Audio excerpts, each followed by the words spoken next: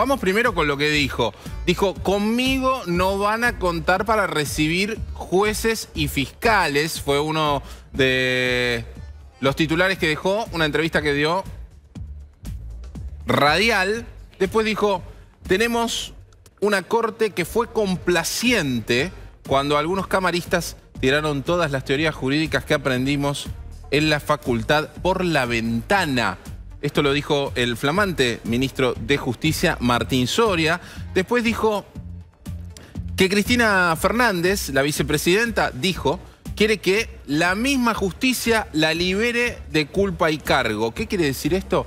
Que lo que dijo Martín Soria es que como él adhiere a la teoría del lofer, recordemos que Martín Soria fue el que hizo la denuncia, que primero lo hizo mediante redes sociales y después finalmente la materializó en una denuncia formal, que el fiscal Horno, eh, perdón, el camarista Hornos fue el que estuvo visitando al expresidente Mauricio Macri en distintas ocasiones y que esas visitas coincidían también con fallos adversos para el kirchnerismo. Eso fue lo que dijo Martín Soria y también de alguna manera adhirió a esa teoría del lofer. Ahora, en esta entrevista que acaba de dar, siendo el flamante ministro, todavía no ha sido nombrado, pero sí eh, mediáticamente, algo bastante particular. El nombramiento se dio en el marco de una entrevista no de manera normal, no de manera formal. Así como también el hecho de confirmar que Lozardo se iba del gobierno. También fue en una entrevista, no fue en una comunicación oficial. Bueno, em, lo que dijo Soria es que precisamente él adhiere a esta teoría del lofer, no lo dijo así textual, pero sí en cuanto a los conceptos que esbozó,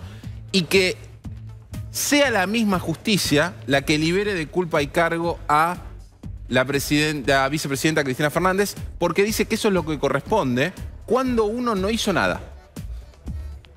O sea que ya dos conceptos en esta frase. Primero, que para él existe el lofer. Y en segundo punto, que... Tres en realidad serían. Pero el segundo punto, que Cristina Fernández no hizo nada. Cristina Fernández no hizo nada, ella no hizo nada. Tercer punto, que en realidad no es que, según lo que dice él, no van a cambiar a la justicia, sino que sea la justicia la misma que imputó a la vicepresidenta de la Nación y la misma que incluso en, algunos casos ya estamos en juicios orales, sí, sí, ya la que la libere de culpa y cargo. Bueno, eso se definirá, para eso, para eso está la justicia, o sea...